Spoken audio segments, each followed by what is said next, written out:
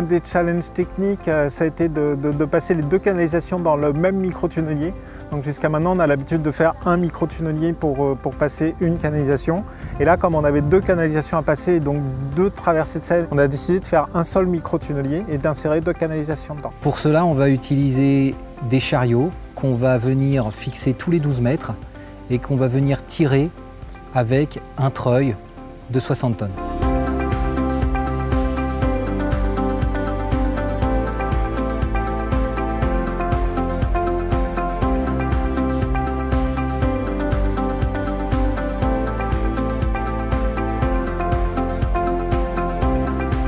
Concernant l'aspect forage, on a commencé à forer mi-juin et on a terminé l'activité forage mi-août. Un microtunnel en soi c'est assez simple dans la théorie. On vient y placer trois éléments qui constituent le microtunnelier. On les pousse en les insérant sous la scène.